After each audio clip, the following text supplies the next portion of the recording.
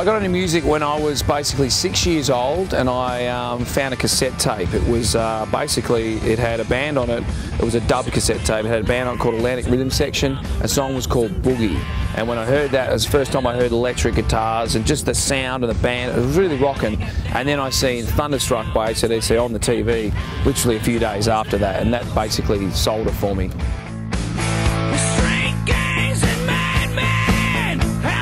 The first instrument I played was um, was the drums actually, and then um, and then I went to guitar because I wanted to just, you know, I just I think I liked the guitar more, so I stuck with the guitar. I still own my first guitar. I'm pretty sure I know where it is, but I need to double check.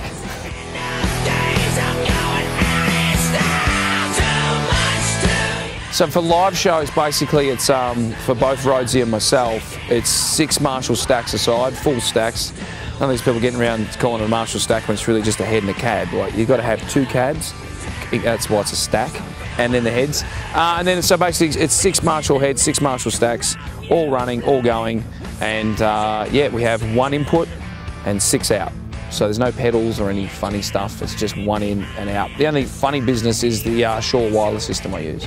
The amps we use uh, specifically, they're, uh, let's see, well, at the moment I'm using a couple of SLPs, Super Lead Plexiglass, and then uh, there's some dual Super Leads. A couple of those Kerry Kings up there without the gate mode and all the other stuff he's got on it. We're just, we're just focusing on that sort of, because it's a hot rod at 800 and we like that sound. Um, and then, and then there's also a couple of wizards up there, uh, the MC2s. Uh, Roads is really into them at the moment. He's, he's rocking it. Um, so yeah, on this tour, I've got um, a few Explorers up there. There's about, I think there's four of them. And then there's, uh, I've got the black SG. Always have the black SG. And then there's, a, yeah, a Gretsch Falcon in the truck as well, which comes out every now and then. Get the Falcon out, it's pretty cool.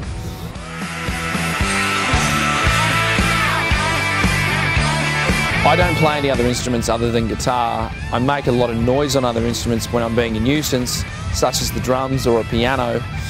But play, as, as opposed to playing it, no, I'm just, I'm just a nuisance with other instruments.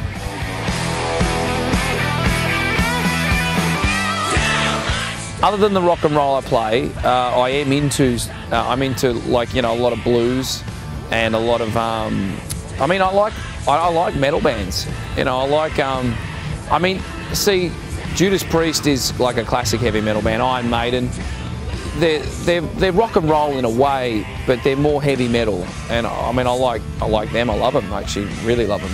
Metallica, you know, I like, you know, that's, that's um, that kind of heaviness. I'm not the biggest thrash metal fan, but if it's on and it's, it's rocking, then I'll have a beer. You know, it's all good. But that's about it. And then, um, yeah, that's about it. My music tastes. Oh, I, I love Little Richard.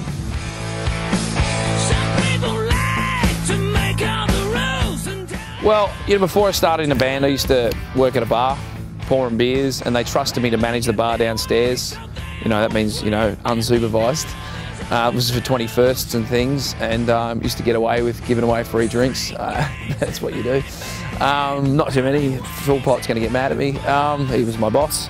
Um, but yeah, no, I used to work at a pub for four years pouring beers and stuff. Couldn't really make the best cocktails, pretty shit house, but luckily enough it was in Warrnambool and the most advanced it got was a cock, uh, cocksucking cowboy shot. Could make them pretty good.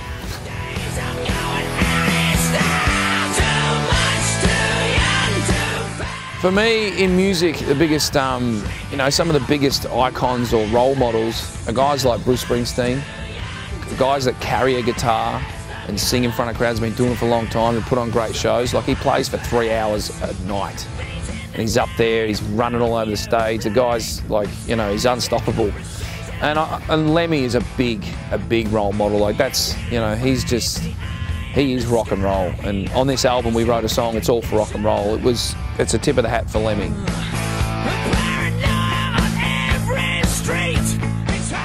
Analog amps all the way. You got to feel it. You got to smell the tubes cooking and you got to really hear that, you know, hear that crunch, and you just can't get that from digital. It just fucking spits out and can't handle it.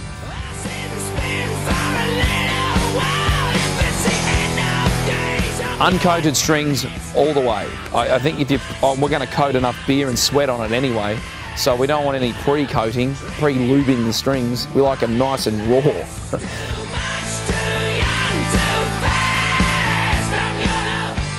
We've always had cabinets on stage. I could not imagine playing on a silent stage. It'd be a bit of a buzzkill.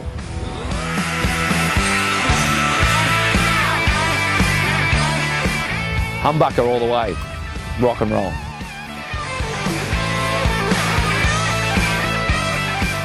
When Steve Vai was in Whitesnake, it fucking rocked. And Whitesnake still rocks, but those albums he made with Whitesnake couldn't have been made by uh, Kurt Cobain. So, Steve Vai.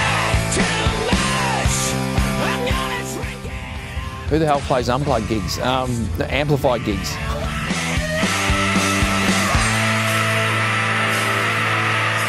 I love the bus, Nightliner, coach services, bang.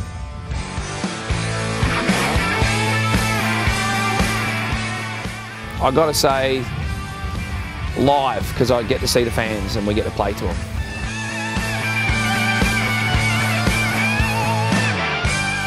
I like them both, but festival gigs are great because it's big and there's a lot of people who haven't seen the band before sometimes, so it's great to get play them, but I still love the club ones because they're right in your face.